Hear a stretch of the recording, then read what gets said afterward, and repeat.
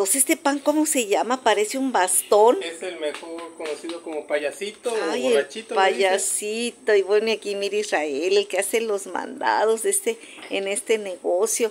Bueno, mis amados, pues yo estoy muy agradecida con Dios. Miren, aquí ya van a empezar a partirlos. Este pan es el, me están comentando, que es el que se hace en rebanadas, amigos. Así que imagínense cuando ustedes van a comprar una rebanada de este pan. Ay, Señor. Así que pues bendito Dios que vamos a bendecir este negocio porque ellos así lo desean. Porque es un negocio que, como dijo nuestra amiguita, tiene un mes, ¿verdad? Un mes y una semana que arrancó. Y usted sabe que todo negocio que se, que se inicia es con mucha ilusión, con deseos de triunfar porque hay inversión de dinero, de tiempo y de trabajo. Así que mis amados, pues vamos a orar.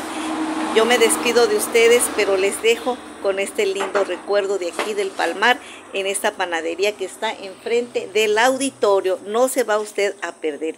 Así que amados, hasta la próxima. Que Dios me los bendiga grande y abundantemente.